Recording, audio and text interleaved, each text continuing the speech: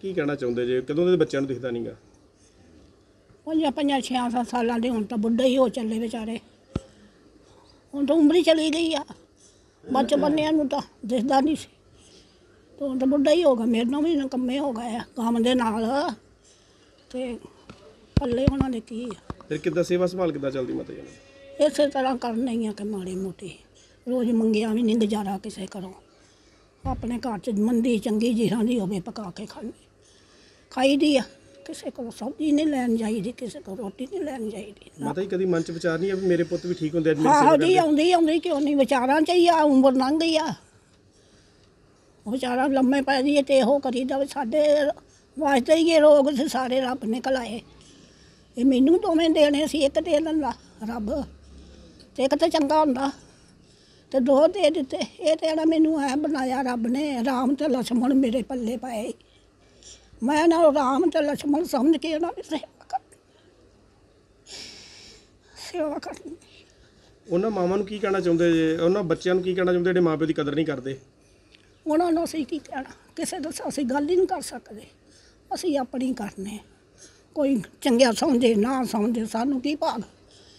ਅਸੀਂ ਤਾਂ ਆਪਣੇ ਘਰ ਦੀ ਸਾਨੂੰ ਰੱਬੀ ਨਿਗਾ ਵੀ ਦਿਖਦਾ ਪਿਆ, ਦਿਨ ਤੇ ਪਤਾ ਨਹੀਂ ਕੀ ਚੱਕਰ ਬਣ ਗਿਆ। ਕਿ ਰਾਤ ਨਹੀਂ ਪਹਿਲਾਂ ਰਾਤ ਦਿਖਦਾ ਹੁੰਦਾ ਹੈ ਰਾਤ ਨਹੀਂ ਦਿਖਦਾ, ਦਿਨੇ ਦਿਸਦਾ ਹੁੰਦਾ ਹੈ ਤੇ ਦਿਨੇ ਦਿਸਦਾ ਦਿਸਦਾ ਤੇ ਕੋਈ ਦਿਨ ਤੋਂ ਕੋਈ ਦਿਨ ਜਿਹੜੀ ਨਿਗਾ ਜਿਹੜੀ ਹੈ ਖਤਮ ਹੋ ਗਈ ਆ। ਤੇ ਇਹਦਾ ਬਥੇਰਾ ਲਾਲ ਲੂਲ ਕਰਾਉਂਦੇ ਰਹੇ ਹੋਏ ਹੋਰ ਪੋਰ ਜਿਹੜੇ ਟੂਣਿਆਂ ਟਾਣਿਆਂ ਦੇ, ਉਹ ਲੋਕੀ ਦੱਸਦੇ ਹੁੰਦੇ ਉਹ ਕਰਾਉਂਦੇ ਰਹੇ। ਤੇ ਉਦੋਂ ਪੈਸੇ ਚਾਹੀਏ ਕਿਤੇ ਹਸਪਤਾਲ ਦੇ ਵਿੱਚ ਦਾਖਲ ਨਹੀਂ ਕਿਤੇ ਕਰਾਇਆ ਸਾਨੂੰ। ਜਾਂ ਉੱਥੇ ਕਰਾਇਆ ਜਾਂਦਾ, ਸਾਡਾ ਲਿੰਕ ਲੁੰਕ ਪੈ ਜਾਂਦਾ।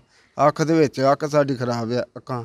ਤੇ ਕਿਸੇ ਨੇ ਕੋਈ ਕੀਤਾ ਨਹੀਂ ਹੁਣ ਸਾਡੀ 60 70 ਸਾਲ ਦੀ ਉਮਰ ਹੋ ਗਈ ਆ। ਤੇ ਉਹ ਅਜੇ ਵੀ ਕੋਈ ਨਹੀਂ ਕਿਸੇ ਨੇ ਜੈਪਟ ਕੀਤੀ ਜੇ, ਕੁਝ ਇਹਨਾਂ ਨੂੰ ਚੰਗਿਆਂ ਕਰ ਦਈਏ। ਤੇ ਮਾਤਾ ਸਾਡੀ ਹੈਗੀ ਹੈ 80 ਸਾਲ ਦੀ, ਤੇ ਅਸੀਂ ਨਿਧਾਰ ਹਾਂ ਨਿਧਾਰ ਸਾਡਾ ਬੜੀ ਮੁਸ਼ਕਲ ਹੈ ਤੇ ਮਾਤਾ ਦਾ ਵੀ ਮੁਸ਼ਕਲ ਹੀ ਹੈ ਬਿਮਾਰ ਸ਼ਮਾ ਰਹਿੰਦੀ ਆ। ਜੇ ਬਿਮਾਰ ਹੋ ਜਾਏ ਤੇ ਫਿਰ ਰੋਟੀ ਵੀ ਅਸੀਂ ਨਹੀਂ ਖਾਂਦੇ। ਰੋਟੀ ਪਕਾਉਣੀ ਨਹੀਂ ਤੇ ਖਾਣੀ ਕਿੰਨੇ ਆ? ਜੇ ਠੀਕ ਰਵੇ ਤੇ ਫਿਰ ਰੋਟੀ ਅਸੀਂ ਖਾ ਲੈਨੇ ਆ। ਤੇ ਬੜੀ ਮੁਸ਼ਕਲ ਨਾਲ ਪੈਸਿਆਂ ਦੀ ਵੀ ਬਹੁਤ ਮੁਸ਼ਕਲ ਹੈ ਸਾਨੂੰ ਤੇ। ਤੇ ਨਾ ਸਾਡੀ ਕੋਈ ਦੇਖਭਾਲ ਹੀ ਤੂੰ ਇੱਥੇ ਕਰ ਸਕ ਕਰਦਾ ਕੋਈ ਵੀ ਰਾਤ ਹਨੇਰੇ ਸਵੇਰੇ। ਸਾਡੀ ਕੋਈ ਦੇਖਭਾਲ ਕਰਨ ਵਾਲਾ ਵੀ ਕੋਈ ਨਹੀਂਗਾ ਵੀ। ਕਿਉਂ ਸਾਡੀ ਦੇਖਭਾਲ ਕਰਨ ਵਾਲਾ ਹੋਵੇ ਤੇ ਇੰਨਾ ਵੀ ਸਾਡੇ 'ਚ ਮਨ 'ਚ ਸਵਾਸ਼ ਹੋਵੇ ਚਲ ਕੋਈ ਨਹੀਂ ਸਾਡੇ ਲਾਗੇ ਰਹਿੰਦੇ ਨੇ।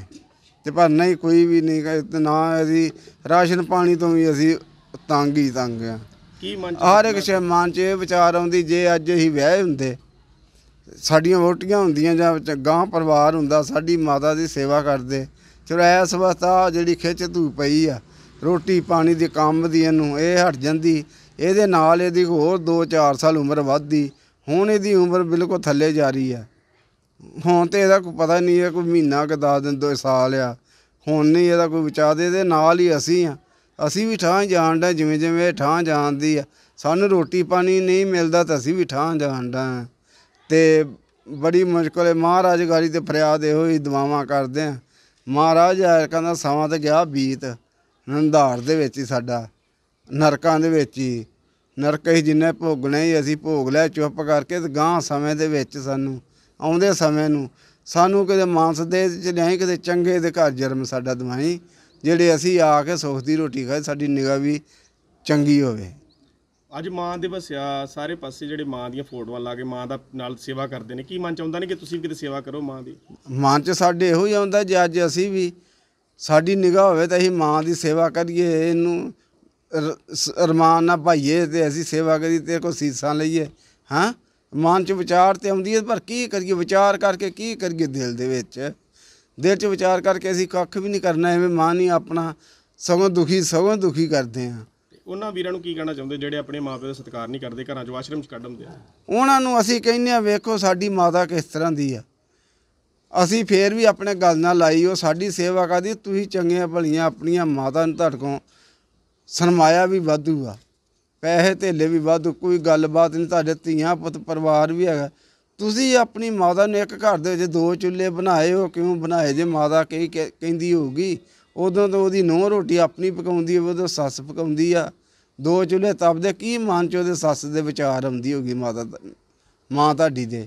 ਕਿੰਨੀਆਂ ਬਦਬਦਰੀਆਂ ਤੁਹਾਨੂੰ ਦਿੰਦੀ ਹੋਊਗੀ। ਤੁਸੀਂ ਸਿੱਧੇ ਨਰਕਾਂ ਨੂੰ ਜਾਣਾ ਤੋਂ ਸਵਰਗਾਂ ਨੂੰ ਜਾਣਾ ਤੁਸੀਂ ਅੱਜ ਮਾਤਾ ਦੀ ਸੇਵਾ ਨਹੀਂ ਕਰ ਸਕਦੇ। ਕੀ ਚਾਹੀਦਾ ਕਿ ਮਾਂ ਦਾ ਸੇਵਾ ਕਰੇ ਆਪਣੀ? ਹਾਂ ਕਹੇ ਮਾਂ ਦੀ ਸੇਵਾ ਕਰਨ ਤੇ ਉਹਨੂੰ ਗੱਲ ਨਾ ਲਾਉਣ ਉਹਨੂੰ ਮੰਜੇ ਦੇ ਬਾਉਣ ਉਹਨੂੰ ਚੁੱਲ੍ਹਾ ਨਾ ਤਾਉਣ ਦੇ ਨਾ ਰੋਟੀ ਪਕਾਉਣ ਦੇ ਉਹ ਜਿਹੜੀ ਆਂਦੀ ਹੈ ਨੂੰਹ ਆਂਦੀ ਉਹ ਸਾਰਾ ਕੁਝ ਉਹ ਕਰੇ ਉਹ ਅੱਗੋਂ ਮਾਰਦੀ ਝਿੜਕਾਂ। ਠੀਕ ਹੈ। ਉਹ ਝਿੜਕਾਂ ਮਾਰਦੀ ਲੜਦੀ ਉਹਦੇ ਨਾਲ ਕੀ ਫਿਰ ਸੱਸ ਕੀ ਕਹਿੰਦੀ ਆ ਇਹਦੇ ਨਾਲ ਤੇ ਬਿਹਤਰ ਹੈ ਫਿਰ ਆਡੀ ਹੋ ਜਾਵਾਂ ਮੈਂ ਚੰਗੀ ਆਪੇ ਮੈਂ ਕਿਸੇ ਦੇ ਘਰੋਂ ਫੁਲਕਾ ਲਿਆ ਖਾ ਲਾਂ ਕਿਸੇ ਦੇ ਘਰ ਸੁਲਾ ਮੈਂ ਜਾਵਾਂ ਫਿਰਨ ਤੋਂ ਉਧਰ ਚਾਹ ਪੀ ਲਾਂ ਮੈਂ ਕਿੰਨੀਆਂ ਦੋ ਰੋਟੀਆਂ ਖਾਣੀਆਂ ਆਪਣਾ ਐਵੇਂ ਟਾਈਮ ਜਿਹੜੀ ਉਮਰ ਹੈਗੀ ਗੁਜ਼ਾਰ ਲੈਣੀ ਠੀਕ ਹੈ।